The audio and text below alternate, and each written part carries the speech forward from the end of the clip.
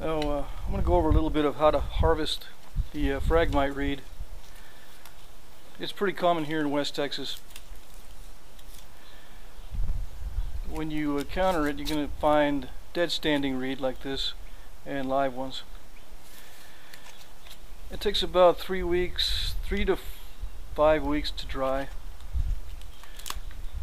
The, uh, the, the live ones will have the leaves on, of course.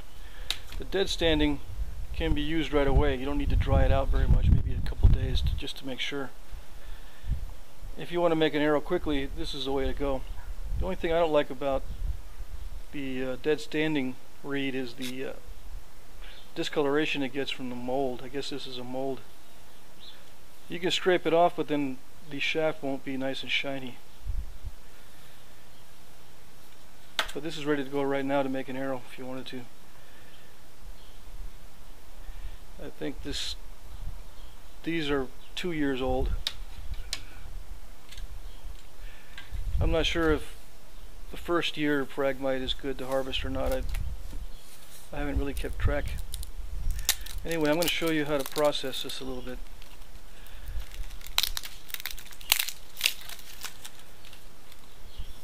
I usually cut quite a bit of length. I don't know if you can see that. I think this one's about five feet long. It gives me a lot of leeway. And I, I put this on a spine tester to see what kind of a spine it has and just cut it to length. Cut it about, I don't know, 30 inches. And then cut a bunch of them and then match the nodes. That's the hard part, matching the nodes. I want to just show you. They don't match exactly. I've got some that I already prepared earlier. And I'll show you how the nodes match up. There they are on the end. These are very close, but some of these aren't quite as close.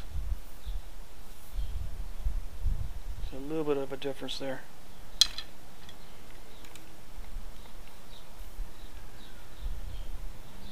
This is a little bit of a variation.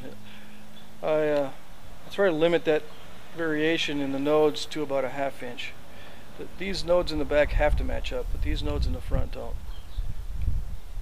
I'll have a, up to about a half inch difference. Anyway, what I do is when I process these, there's some leftover dried leaf I leave the, the leaf on there when it's drying. Take it off afterwards. But you could take it off first. It's just easier to process when it's dry. The leaves come off easier and this shaves off easier.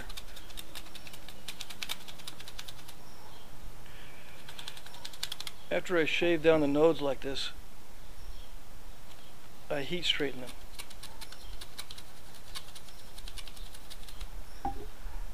And the tool that I like to use for heat straightening is uh, this one here. I just insert the reed in there.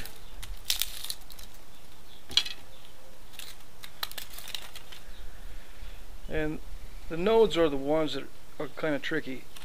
You can straighten them with your hand uh, while they're hot, while it's hot in between the nodes, but the nodes require uh, more precise heating and bending.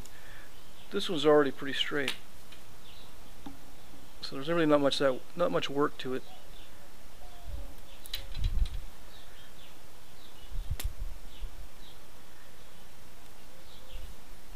And I find that uh, as long as the diameters in the spine are very much the same, when you end up weighing these, they weigh almost the same. So the the, the reed is very consistent.